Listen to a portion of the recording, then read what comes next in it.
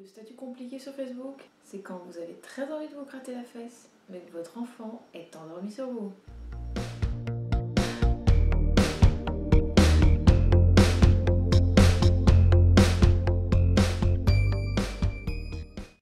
Bonjour, je suis heureuse de vous retrouver pour un tutoriel maquillage avec la palette Monarch de Kat Von D.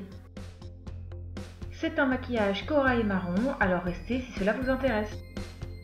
Avant toute chose, j'applique une base de paupières de chez Kiko que je trouve bien trop épaisse à mon goût et ensuite j'applique le fard Killing Jar sur toute la paupière mobile.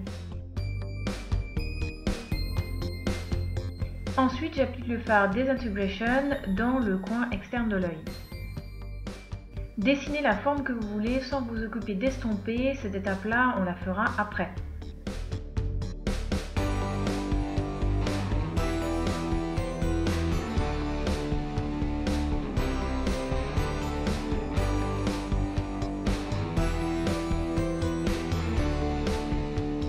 Enfin, je vais estomper mon gros pâté. Pour cela, je vais utiliser un pinceau fluffy avec les poils fermes et le fard Vanish, toujours de la palette Monarch.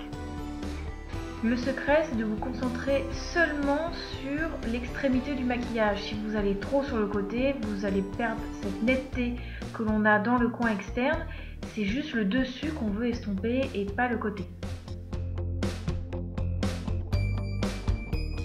N'hésitez pas à remettre du fard corail, du fard marron que vous aurez choisi, puisqu'en estompant, on va forcément perdre un peu d'intensité. Pour la touche lumière, j'ai décidé de me la jouer un petit peu faux folle et j'ai utilisé les deux touches lumière. D'abord la première jaune pour vraiment euh, rendre le tout clean et la deuxième pailletée pour... Parce que c'est toujours mieux avec des paillettes, j'ai envie de dire. Hein.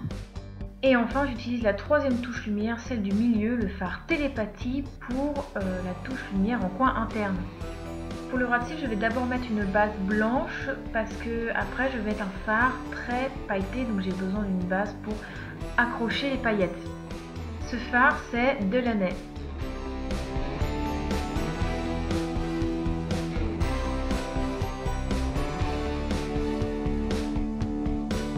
Je fais le raccord entre les deux coins externes avec le fard Desintegration. Je mets un crayon gris foncé dans la muqueuse, j'avais pas envie de mettre un noir, mais en même temps, j'avais envie de le marquer et de le foncer. Comme vous pouvez le voir, hein, euh, l'eyeliner, c'est toujours une vraie galère. Euh, j'en viens me demander si ça vaudrait pas le coup que j'investisse dans des patchs, parce que ça devient vraiment ridicule.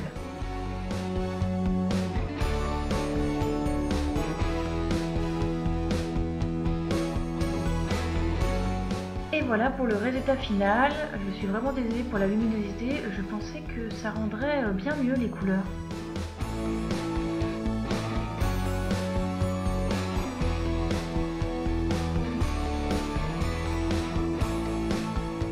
Utiliser un goupillon pour estomper son mascara, c'est le meilleur moyen pour avoir des beaux cils sans paquet. Regardez-moi cette différence entre avec anti-cerne et sans anti-cerne.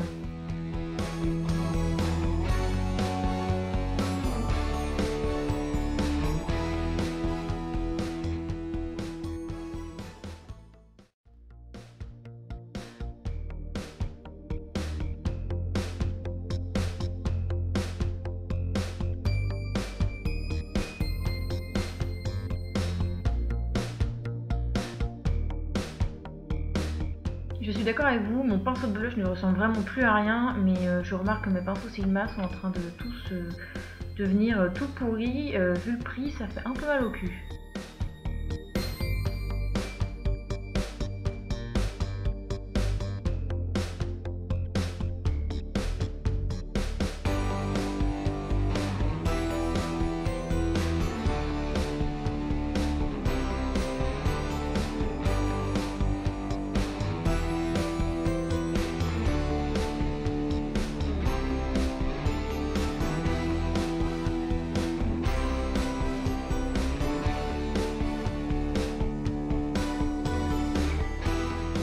Je ne redis pas tout ce que je fais puisque je fais toujours la même chose dans chacune de mes vidéos, donc il suffit de regarder des vieilles vidéos pour savoir quel produit je mets et euh, pourquoi je mets ça comme ça. Je ne crois pas l'avoir déjà présenté sur la chaîne, donc je m'exécute. Le rouge à lèvres, c'est un rouge à lèvres de chez Bare Mineral dans la gamme Moxie et la teinte c'est Speak Your Mind. J'espère que ce tutoriel vous a plu, je vous souhaite une bonne journée et à la prochaine